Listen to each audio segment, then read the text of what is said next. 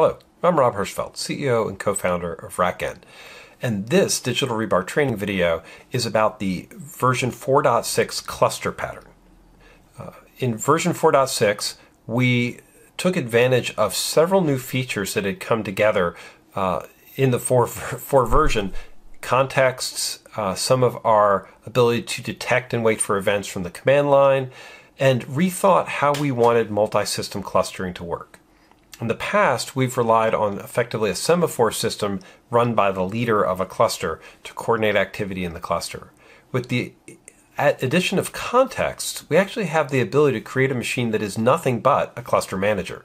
And from that perspective, we can start to look at a cluster as a coordinated set of activities where there are activities that are not dependent on any of the machine in the cluster.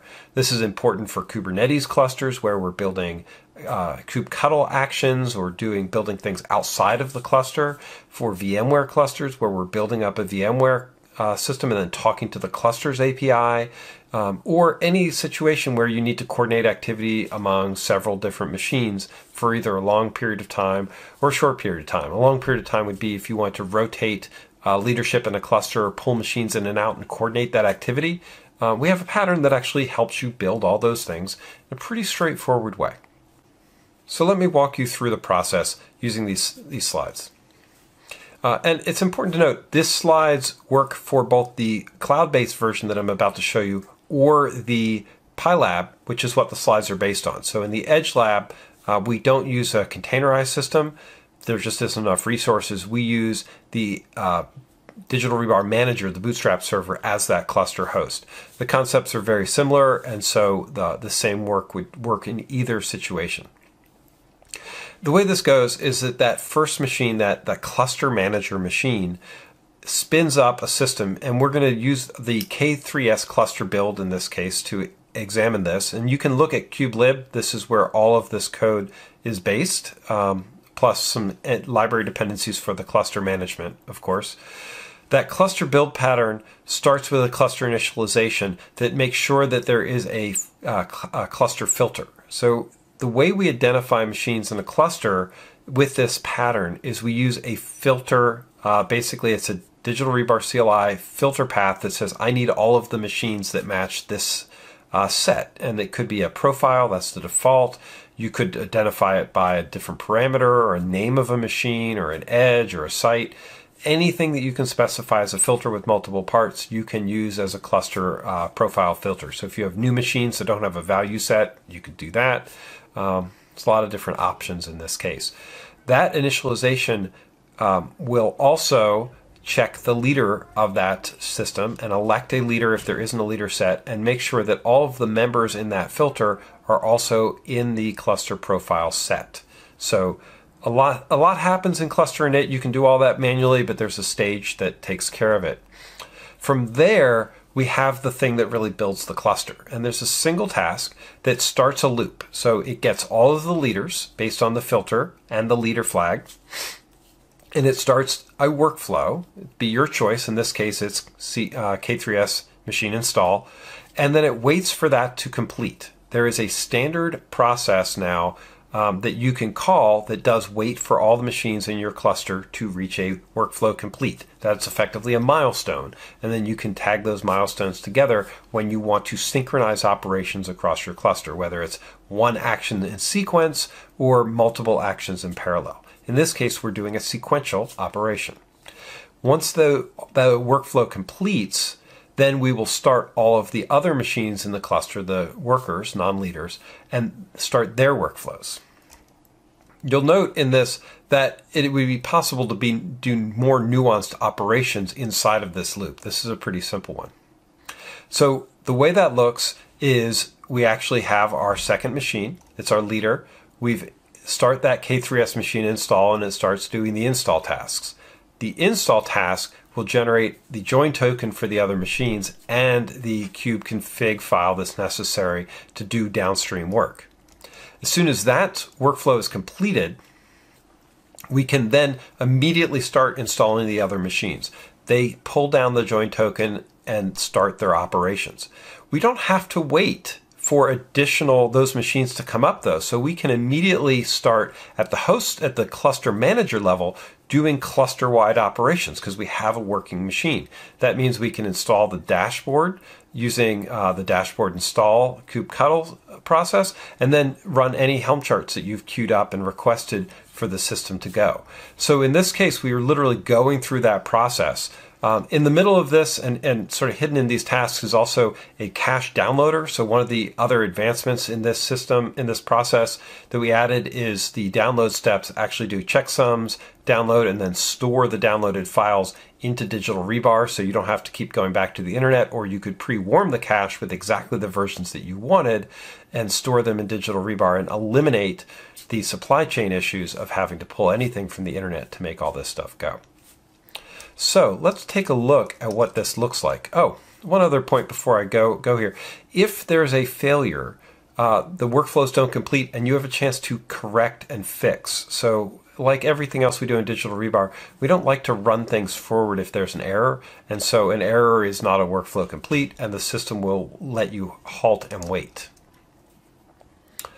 So here's a digital rebar system that I've built. It has all of these components already pre-staged for me. I have a runner system, a containerized system that is my cluster, and then I have three machines that are set up um, using a basic CentOS machine in the cloud. Uh, and those have already been provisioned and they have machine IP addresses. So that all looks good. What I want to do here is start the cluster manager. So I can go into my workflow. I can say K3S see if it's installed. It's not. So since we don't have the kubelib installed yet, I do need to go get that in my catalog. So here, over here is my catalog. I just need kubelib. So here's this. Uh, this is ultimately going to replace our, I'm going to get the very latest version. This is ultimately going to replace uh, the Kubernetes install crib um, using this new cluster pattern. So uh, right now we started with K3S, it's just a little bit simpler and EdgeLab consumes that right away. If you're using EdgeLab, you would do this process. It doesn't, its filter is already pre-wired. You don't have to go through the step I'm about to show you. When I go to K3S cluster build, remember machine install is the thing that's going to be kicked off by cluster build and run it. It's going to go through and fail. This is expected. I'm at cluster initialize and it's telling me very clearly there's a fix required. No members match the profile. Pro, there's no match for profiles equal K3S cluster. So what's happened here is the initialize step couldn't find any members of the cluster. It went and built a profile, K3S cluster, and no nobody's in that yet. Uh, the name of this cluster, by the way, is generated by the machine name. So if I had called this Rob's cluster, the profile would be Rob's cluster. So all I have to do is over here come in and there's my K3S cluster. Excellent. I add it in. Now I have machines in the cluster. If I come back over here, I don't have to, to do anything but tell the workflow that I'm ready to go. And now it'll start. It's doing exactly, I'm going to minimize a little bit so you can see it more easily on screen. It's doing exactly what you expect. Here is our leader getting installed and it's going through that machine install process. The first time I'm doing this, I have to download components, so it'll be a little slower. It finished that step and now the secondary machines are picking up. They're already done. And you can see simultaneously it's going through and doing that lib dashboard install. Uh, once it finishes that, it's going to whip through Helm because I don't really have any Helm charts to find. And my K3S cluster is complete. That's why I start with the slides first. It happens so fast, it's hard to actually see everything that's going. Um, and if I jump into that, that profile, what you'll see is here is my dashboard token. So I could log into the dashboard. Here's my kubeconfig file. And here is my node token. Those are the things in that shared cluster. Um, and it's basically a ready to go cluster. My leader is clearly identified. If I jump into the leader, you'll see cluster leader is true. So I could have pre-wired what those are. Cluster manager over here is actually identified as the cluster manager. Um, and this cluster profile once again uses, and we've been using this pattern, uh, especially wired in digital rebar with permissions. Uh, if you define cluster profile and name it the name of the cluster, then it will create a token that allows machines to edit that shared profile. And that's it. Um, super fast. If I want to um, basically restart this pattern, uh, I can do that. These are just cloud machines, so I can destroy them, uh, let them decommission, and uh, recommission them. That'll take just a couple of, couple of seconds, and I'll explain some things while we wait for that.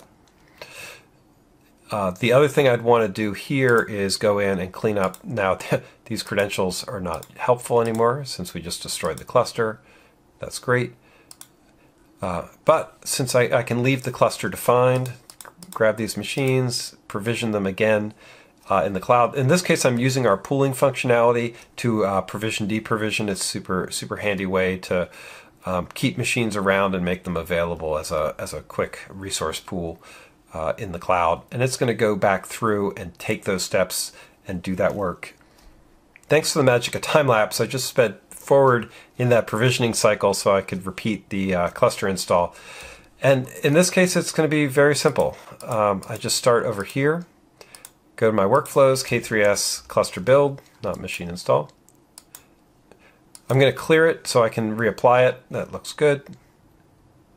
And uh, apply my cluster build and it will go through the process and literally start this uh, same cluster. It doesn't have to do the install, so it'll be even faster. Uh, my leader is installed, didn't re-elect it.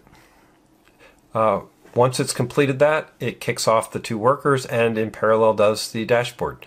So overall, I'm doing uh, K3S installs in about 15, 20 seconds. Uh, if I go to my jobs list, I could see the actual time time durations. Um, so 12 seconds, that's my dashboard install. Uh, 14, 15 seconds to get uh, plus another five or six. So yeah, sub sub 30 second uh, K3S deployments for you. If you have any questions, please come in, uh, play with EdgeLab. It's under $500, gives you pies, but you can do this with any infrastructure on any cloud. It's super straightforward. If you have other questions, please let us know at rackn.com. Otherwise, I hope this uh, tutorial about the V46 digital rebar cluster pattern was helpful. Thanks a lot. This is Rob Hirschfeld signing out.